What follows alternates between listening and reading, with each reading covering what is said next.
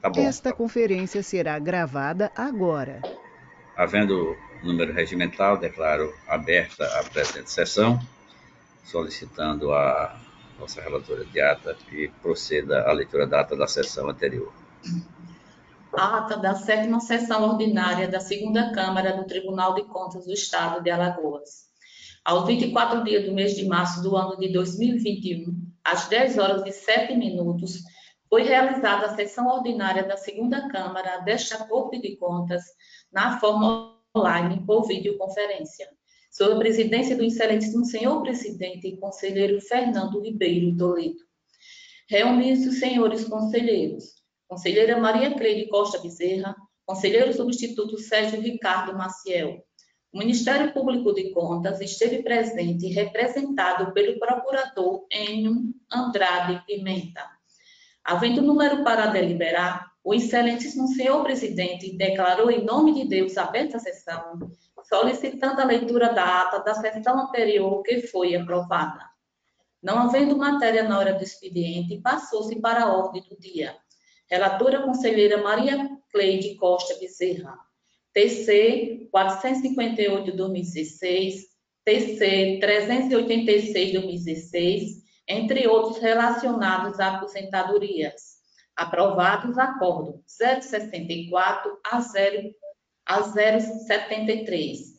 TC 18.296-2013, TC 2312-2014, contratos, aprovadas resoluções 008 e 009. Relator conselheiro substituto Sérgio Ricardo Maciel. TC 3539-2013, representação. Aprovado acordo 074. Relator conselheiro Fernando Ribeiro Toledo. TC 7861-2019, TC 7629-2019, TC 10.803-2019, retirados de, de pauta. Todo pronunciamento destes processos transcrito na íntegra. Não havendo processos a relatar, o excelentíssimo senhor presidente facultou a palavra. Não havendo quem quisesse fazer uso, em nome de Deus, encerrou a sessão, convocando-os para a próxima no horário regimental.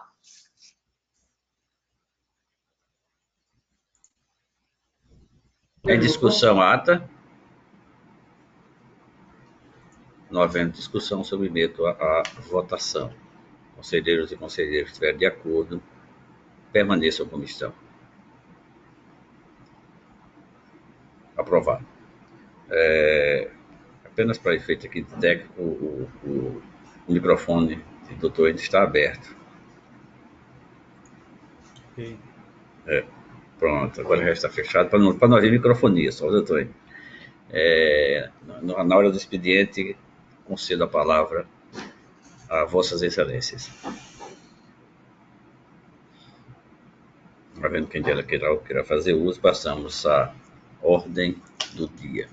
Pela ordem para relatar a conselheira Maria Cleide.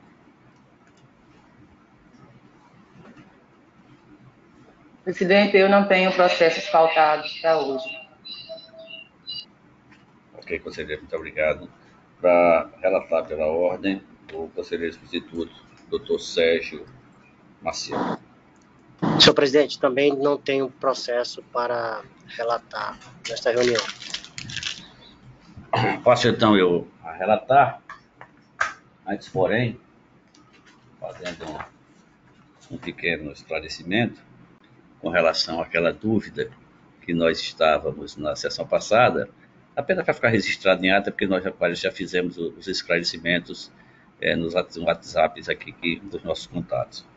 Mas nós falávamos sobre a, a, a resolução do número 007 de 2018, que é, tinha um, um, procedimento com relação aos, aos, contratos de menor valor, mas nós descobrimos também a resolução de número 010 de 2018, que dá exatamente uma nova redação ao artigo 1 artigo 7 né, é verdade, é, que, que, é o que modifica, é, fazendo uma redação que é, corrige aquela distorção daqueles contratos abaixo da, daquela linha do impedimento.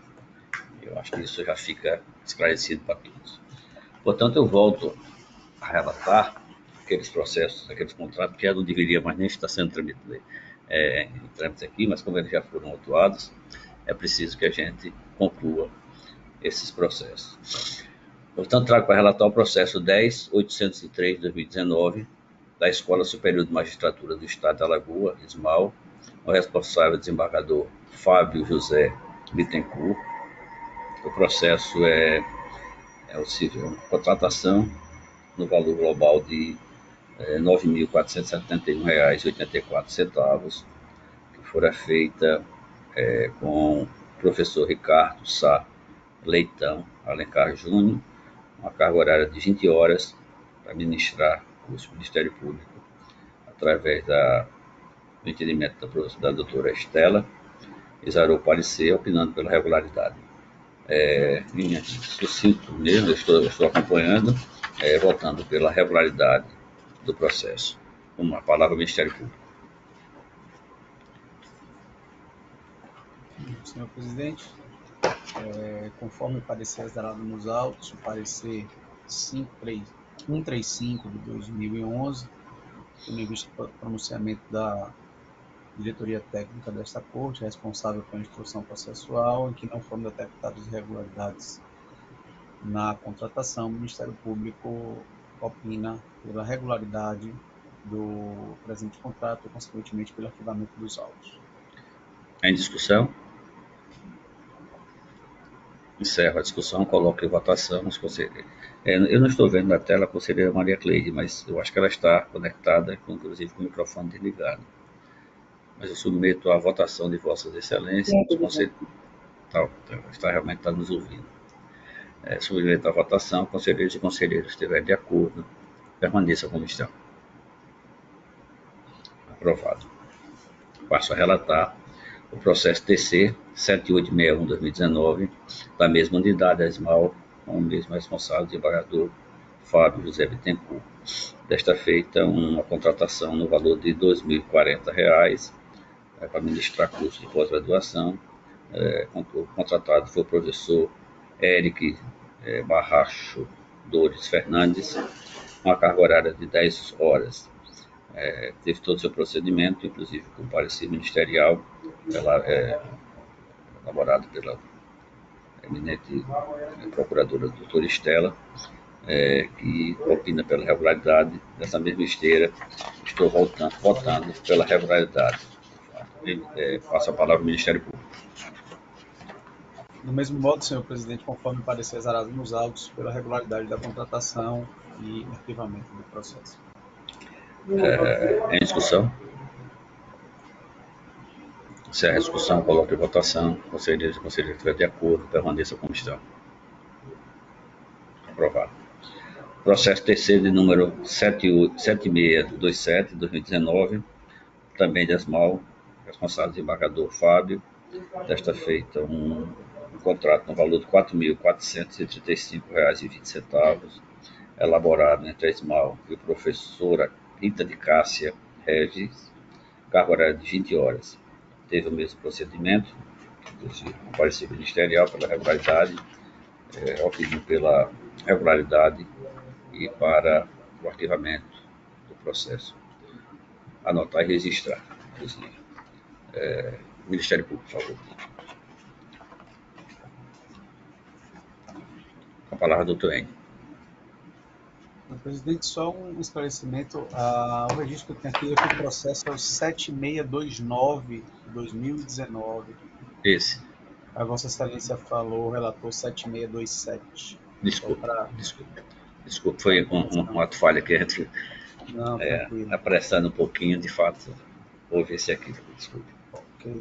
É, também no mesmo modo, parecer ministerial nos autos, número 138 de 2021, também é, acompanhando o entendimento da unidade técnica do tribunal no sentido da não ocorrência de qualquer irregularidade, em razão disso, pela regularidade da contratação e arquivamento dos autos. Em discussão? Encerra a discussão, coloca em votação. Conselheiro, conselheiro, que de acordo, permaneça a comissão. Aprovado.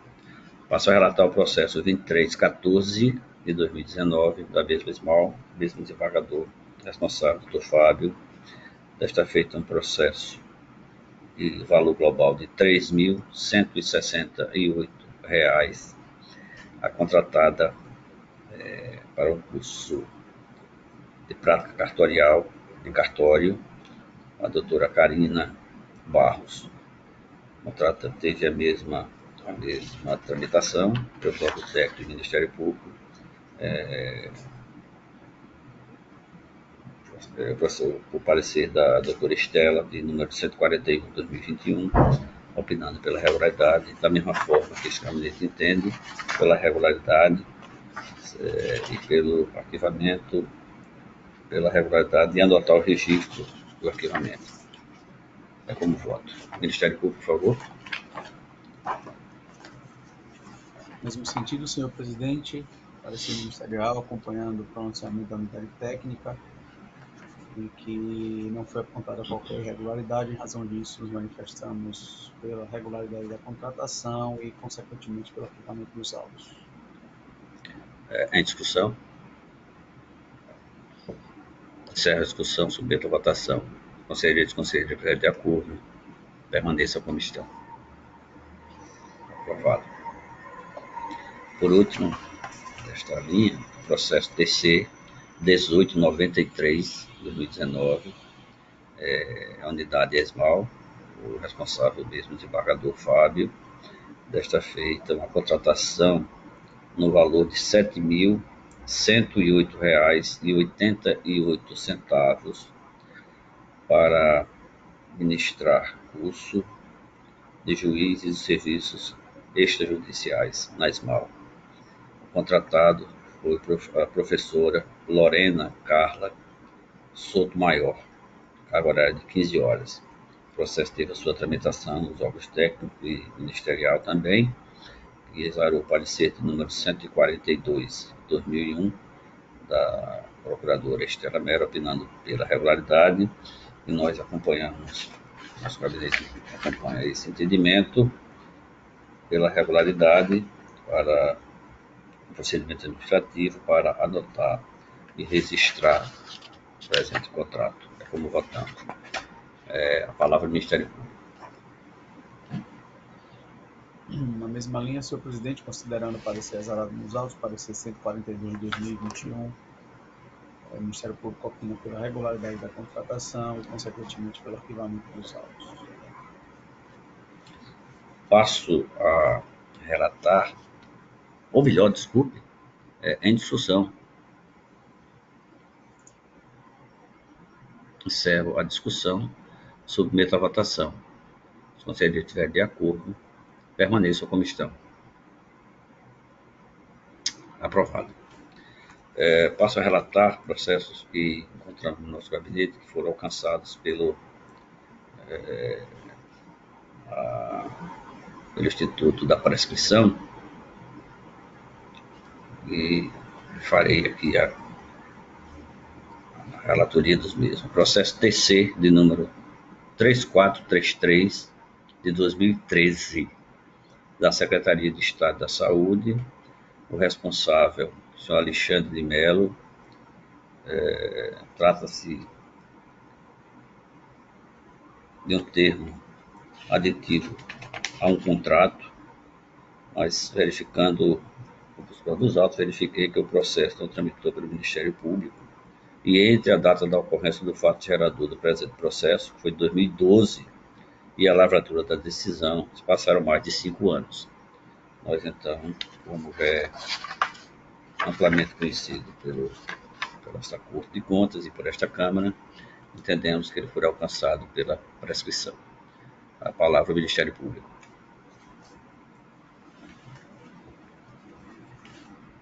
Senhor presidente, o Ministério Público opina favoravelmente é, ao reconhecimento ex officio da prescrição da aplicação de sanção no presente processo. É, em discussão? Encerro a discussão, submeto à votação. Os conselheiros estiverem de acordo, permaneçam como estão. Aprovado. Processo TC de número 17.966 de 2011. É a mesma unidade, a Secretaria de Estado da Saúde, com o mesmo gestor, Alexandre de Mello. Haveria, é, teria sido sancionado por não ter enviado um termo aditivo de compromisso com a Secretaria de Saúde de Joaquim Gomes, Porto Calvo e Pilar, descumprindo o calendário obrigações. Buscando os autos, verificamos que o processo não, mitrou, não tramitou para o Ministério Público, mas entre a data da ocorrência do fato gerador do presente processo, que foi lá de 2011, e a lavratura da decisão, se passaram mais de cinco anos. Entendemos também alcançado pelo, pela prescrição, assim como votamos. Com a palavra, Ministério Público. Do mesmo modo, senhor presidente, o Ministério Público opina favoravelmente ao reconhecimento ex ofício da prescrição no presente processo. Em discussão? Encerro a discussão. Submeto à votação. Os conselheiros estiverem de acordo, permaneçam como estão. Aprovado. É, submeto a essa Câmara o processo TC de número 264 de 2013, da Câmara Municipal de Canapi. O responsável Cícero Silvestre Neto. Havia um sancionamento no sentido do não envio da quarta remessa de SICAP correspondente às obrigações nos meses de julho a agosto de 2012, infringindo a lei orgânica desse tribunal. Observando os autos, também verificamos que o processo não tramitou no Ministério Público de Contas, mas entre a data da ocorrência do fato gerador do presente processo, que fora lá em 2012, e a lavratura da decisão, se passaram mais de cinco anos. Portanto, entendemos também este alcançado pela prescrição, assim como votamos. Com a palavra, o Ministério Público. Presidente, também nesse processo o Ministério Público opina favoravelmente ao reconhecimento ex officio da proteção punitiva por parte deste Tribunal de Contas. Em discussão? Encerro a discussão, submeto a votação. Os conselheiros estiverem de acordo, permaneçam como estão. Aprovado. Não tendo esgotado também a nossa pauta, passamos às explicações pessoais e eu submeto eu é, é, passo a palavra a Vossas Excelências. Não havendo quem dela queira fazer uso, é, encerro a presente sessão, convocando-os para a próxima em horário regimental e desejando a todos uma boa semana de trabalho. Boa semana, boa presidente. Boa semana, conselheiro.